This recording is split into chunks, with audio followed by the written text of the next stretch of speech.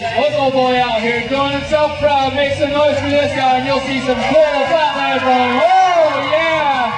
Backwards and forwards.